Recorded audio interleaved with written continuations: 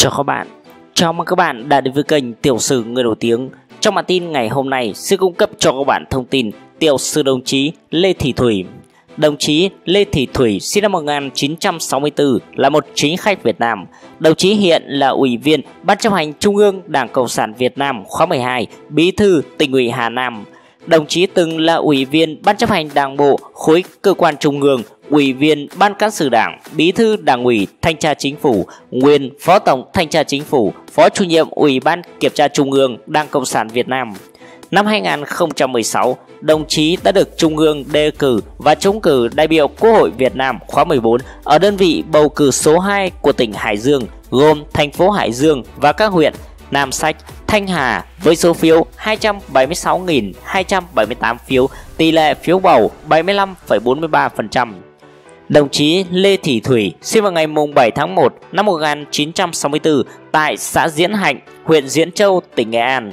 Đồng chí đã được kết nạp vào Đảng Cộng sản Việt Nam ngày 4 tháng 3 năm 1993. Về giáo dục, giáo dục phổ thông 10 trên 10, Đại học Luật chuyên ngành Luật Kinh tế, Thạc sĩ Luật, bằng cao cấp lý luận chính trị. Về sự nghiệp, từ năm 1986 đến năm 1989, giảng viên trường hành chính tỉnh Nghệ An.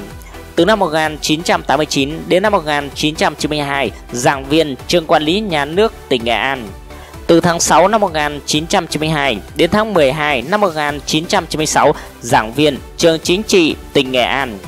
Từ tháng 8 năm 1992 đến tháng 8 năm 1997, đại biểu Quốc hội khóa 9 đồng chí đã gia nhập Đảng Cộng sản Việt Nam vào ngày 4 tháng 3 năm 1993. Từ năm 1992 đến năm 2001, luật sư, đoàn luật sư tỉnh Nghệ An. Từ tháng 1 năm 1997 đến tháng 7 năm 2000, chuyên viên tổ cơ chế chính sách, văn phòng Ủy ban nhân dân tỉnh Nghệ An. Từ tháng 8 năm 2000 đến tháng 2 năm 2001, chuyên viên chính tổ tổng hợp văn phòng Ủy ban nhân dân tỉnh Nghệ An. Từ tháng 3 năm 2001 đến tháng 7 năm 2004, Phó Tránh Thanh tra tỉnh Nghệ An.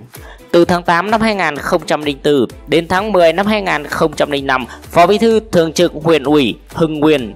Từ tháng 11 năm 2005 đến tháng 12 năm 2005, Phó chủ nhiệm Ủy ban Kiểm tra tỉnh ủy Nghệ An. Từ tháng 1 năm 2006 đến tháng 10 năm 2008, Ủy viên Ban Thường vụ tỉnh ủy, Tránh Thanh tra tỉnh Nghệ An.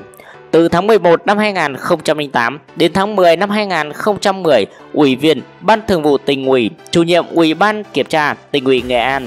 Từ tháng 11 năm 2010 đến tháng 7 năm 2015, Ủy viên Ban Cán sự Đảng, Phó Tổng Thanh tra Chính phủ. Từ tháng 8 năm 2015 đến tháng 1 năm 2016, Ủy viên Ban Cán sự Đảng, Phó Tổng Thanh tra Chính phủ, Bí thư Đảng ủy Thanh tra Chính phủ. Từ tháng 1 năm 2016 đến tháng 8 năm 2016, Ủy viên Ban chấp hành Trung ương Đảng, Phó Tổng Thanh tra Chính phủ, Bí thư Đảng ủy Thanh tra Chính phủ. Từ tháng 8 năm 2016 đến ngày 21 tháng 7 năm 2019, Ủy viên Ban chấp hành Trung ương Đảng, Phó chủ nhiệm Ủy ban Kiểm tra Trung ương. Ngày 21 tháng 7 năm 2019 cho đến nay, Ủy viên Ban chấp hành Trung ương Đảng, Bí thư tỉnh ủy tỉnh Hà Nam nhiệm kỳ 2015-2020. Ngày 27 tháng 9 năm 2019, Văn phòng Quốc hội đã công bố những nghị quyết về nhân sự của Ủy ban Thường vụ Quốc hội tại quyết định số 766 NQ UBTV QH14, Ủy ban Thường vụ Quốc hội đã quyết định đồng chí Lê Thị Thủy chuyển sinh hoạt từ đoàn đại biểu Quốc hội tỉnh Hải Dương đến đoàn đại biểu Quốc hội tỉnh Hà Nam. Ngày 21 tháng 9, Đại hội đại biểu Đảng bộ tỉnh Hà Nam đã tiến hành bầu Ban chấp hành Đảng bộ tỉnh nhiệm kỳ mới. Chiều ngày 21 tháng 9, Đại hội đã công bố kết quả bầu Ban chấp hành Đảng bộ tỉnh Hà Nam lần thứ 20 nhiệm kỳ 2020-2025 gồm 48 đồng chí và tiến hành lấy phiếu giới thiệu chức danh Bí thư tỉnh ủy nhiệm kỳ 2020-2025 đối với đồng chí Lê Thị Thủy, Ủy viên Trung ương Đảng, Bí thư tỉnh ủy nhiệm kỳ 2015-2020. Sau đó, Ban chấp hành Đảng bộ tỉnh Hà Nam khóa 20, nhiệm kỳ 2020-2025 đã họp phiên thứ nhất để bầu Ban Thường vụ tỉnh ủy, Bí thư, Phó Bí thư tỉnh ủy, Ủy ban kiểm tra tỉnh ủy và chủ nhiệm Ủy ban kiểm tra tỉnh ủy. Kết quả, Ban chấp hành Đảng bộ tỉnh đã bầu 14 đồng chí vào Ban Thường vụ tỉnh ủy.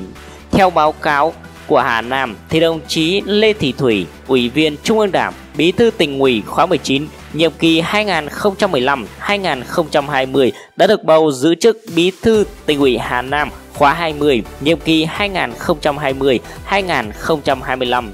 Các đồng chí Trường Quốc ủy, Ủy viên Ban Thường vụ tỉnh ủy khóa 19, Bí thư Thị ủy Duy Tiên, Đinh Thị Lụa, tỉnh ủy viên khóa 19, Phó Chủ tịch Ủy ban nhân dân tỉnh được bầu giữ chức Phó Bí thư tỉnh ủy khóa 20, nhiệm kỳ 2020-2025.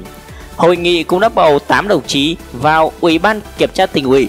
Đồng chí Lê Hồng Quân, Ủy viên Ban Thường vụ tỉnh ủy, chủ nhiệm Ủy ban kiểm tra tỉnh ủy khóa 19, nhiệm kỳ 2015-2020 được bầu giữ chức chủ nhiệm Ủy ban kiểm tra tỉnh ủy khóa 20, nhiệm kỳ 2020-2025.